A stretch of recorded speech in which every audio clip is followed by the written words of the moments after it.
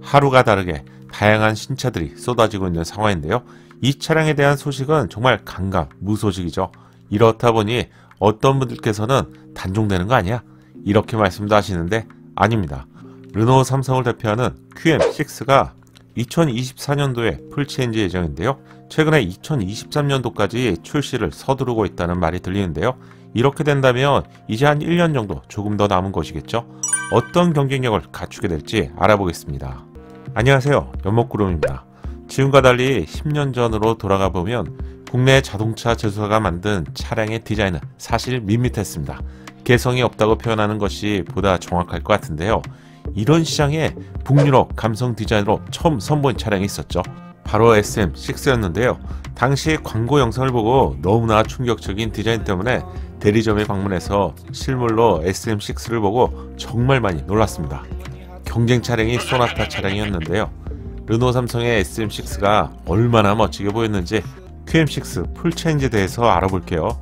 가장 관심이 많으실 크기부터 예상해보면 소렌토와 산타페처럼 전장의 크기는 4800mm급으로 더욱 커질 것으로 전망됩니다. 시간이 흐르며 흐를수록 덩치가 정말 많이 커지다 보니 현재의 준중형 투싼이나 스포티지가 full change를 거치면서 거의 20cm 이상 커졌기 때문에 현재 QM6와 크기 면에서 비슷해진 상황이죠. 그렇다면 full change 차량은 언제 출시가 될까요? 르노 삼성의 경우 현재까지 공식 입장이 없는 상황인데 해외 매체에 따르면 2023년도에 현재의 QM6가 단종된다고 합니다. 현재 후속 모델의 개발이 이미 시작된 것으로 파악이 되는데요. 아시는 분들도 있겠지만 QM6의 정식 명칭은 꼴레오스죠.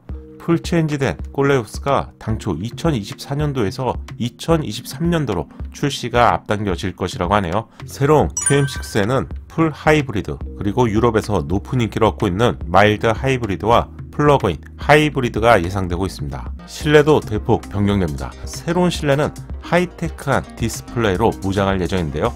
디자인은 메간 E-Tech에서 보여준 첨단 느낌의 실내를 참고하시면 될 것 같은데요. 계기판은 가로 형태가 예상되고요. infotainment는 세로 형태지만 사용자의 인터페이스에 따라서 이렇게 본다면 마치 하나로 연결된 것 같은 파노라마 디스플레이처럼 보이죠. 만약 지도와 같은 화면은 좌우로 넓은 형태보다는 차량이 앞뒤로 이동하기 때문에 위와 아래가 넓은 형태가 사용해보면 더욱 편리한데요.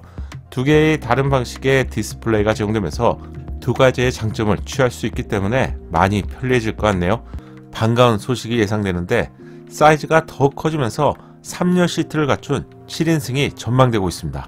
해외 매체에 따르면 C segment 사이즈에서 D segment 사이즈로 크기를 많이 키우면서 3열 시트의 소식을 담고 있는데요.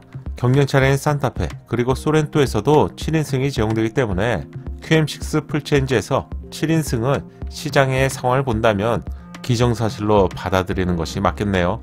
이 정도의 경쟁력만 갖추고 출시가 되어도 새로운 QM6의 경쟁력은 높다고 할 수 있겠죠.